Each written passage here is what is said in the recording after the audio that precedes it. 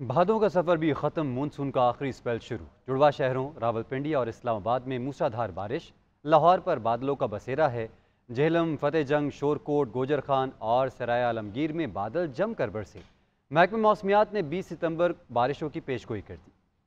भादों का सफ़र खत्म, फजा में खुन की शामिल, रातें ठंडी। खलीज बंगाल के बाद मगरबी हवाएँ भी पाकिस्तान में दाखिल हो गई। महकमे मौसमियात ने 20 सितंबर तक बारिशों की पेशगोई कर रावलपिंडी और इस्लामाबाद में मूसलाधार बारिश के बाद रेन इमरजेंसी नाफिज कर दी गई। वासा हुकाम के मुताबिक नारा लई में कटारिया के मकाम पर पाँच फीट, जबकि गवाल मंडी पर पानी का बहाव चार फीट है। सूरत हाल मामूल पर है, ताहम भारी मशीनरी, नाला लई और नशीबी इलाकों में तैनात कर दी गई। मुल्क के दीगर शहरों के मौसम की बात करें तो लाहौर पर बादलों का बसेरा, जेलम, फतेहजंग, शोरकोट, गोजर खान, सराय आलमगीर, टेक्सला में कहीं हल्की तो कहीं तेज बारिश हुई। कराची में मौसम गर्म, ताहम आज शाम को बारिश बरसाने वाली हवाएँ शहर में दाखिल होंगी। महकमे मौसमियात के मुताबिक कश्मीर, खैबर पख्तूनख्वा के बलाई इलाकों समेत पंजाब, सिंध और बलोचिस्तान के बाद अजला में गरज चमक के साथ बारिश का इम्कान है।